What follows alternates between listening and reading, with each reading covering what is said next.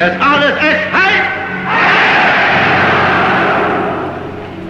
Die große Zeit ist jetzt angebrochen.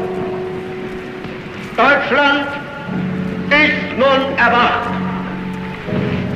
Die Macht haben wir nun in Deutschland gewonnen. Nun gilt es, das deutsche Volk zu gewinnen. Ich weiß es, meine Kameraden, es ist euch wohl oft schwer gefallen, wenn ihr meint, es müsse nun ein Wandel kommen und er kann nicht und immer wieder muss der neue Appell gerichtet werden. Es muss weitergekämpft werden,